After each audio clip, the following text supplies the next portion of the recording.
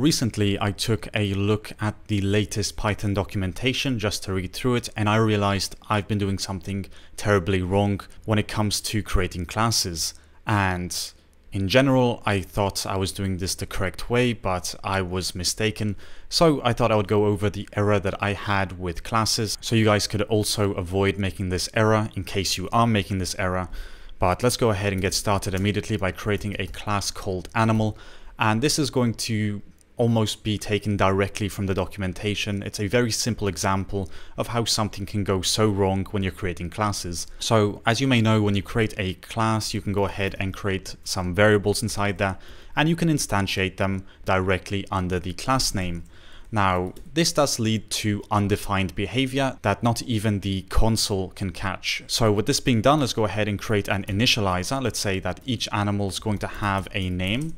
So self.name is going to equal the name that we pass in.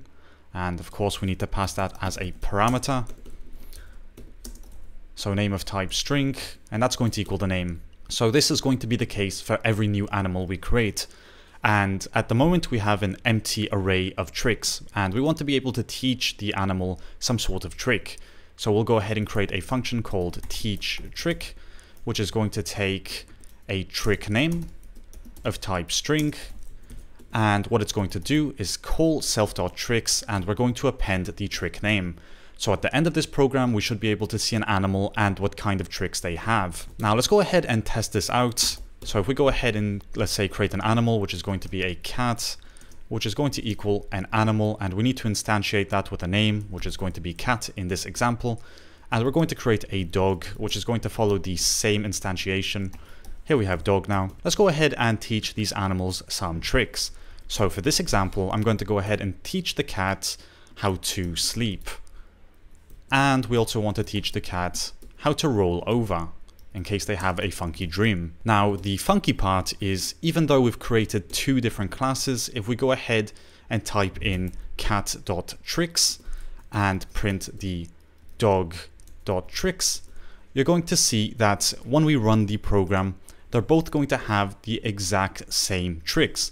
And this is the funky part in Python, because what I thought I've been doing until now is creating a private instance of this variable, but that's not how it works. In Python, this actually creates a global namespace. So now any animal class that has tricks defined can use it, and it's going to refer to the global version of it. And there's a very simple fix to this, and that is to go ahead and create it inside here creating it in the initializer guarantees that it's going to be private to the instance. So if we go ahead and say this is going to equal a new instance of tricks, we can go ahead and rerun the program and it's going to say that the cat has these two and the dog has none. And we can actually make this a bit more descriptive by just saying that a cat does this and the dog does that. So if we run the program, and of course that didn't work because we need to say cat.name and dog.name.